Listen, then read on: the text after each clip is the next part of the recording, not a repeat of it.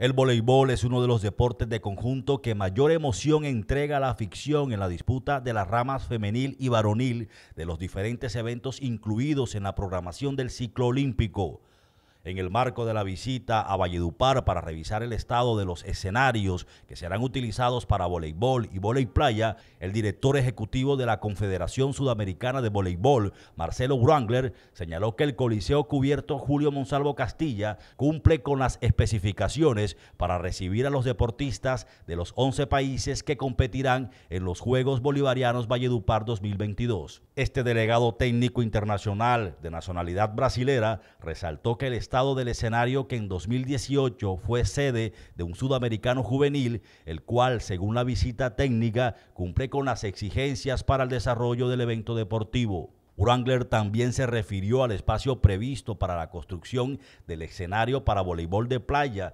ubicada en las instalaciones del Parque de la Leyenda Vallenata, el cual cumple con las condiciones técnicas para el desarrollo de la disciplina que en los planes de la organización de los Juegos estará listo para acoger a la competencia. Ese coliseo tiene todas las condiciones para eh, hacermos un gran torneo.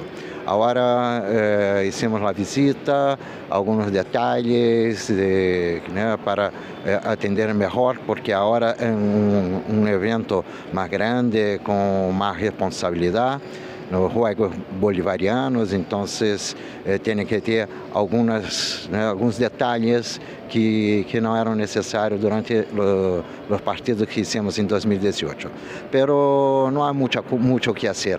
O Coliseu é espetacular e, e atende uh, todos os requerimentos. Também uh, um gosto uh, venir uma vez mais a Valle do Par, uma cidade encantadora. El, pueblo muy amable, como siempre me siento aquí como si estuviera en mi casa. Abrazo a todos.